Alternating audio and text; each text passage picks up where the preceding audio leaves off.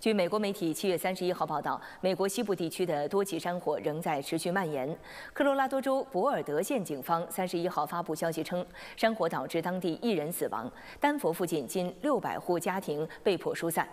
七月三十一号上午，丹佛的大火面积已经扩大一倍，并且完全没有得到控制。在加利福尼亚州，帕克山火已经发展成为加州历史上第五大山火，过火面积超过一千五百平方公里。截至目前，美国二零二四年已经发生了超过两万八千场山火。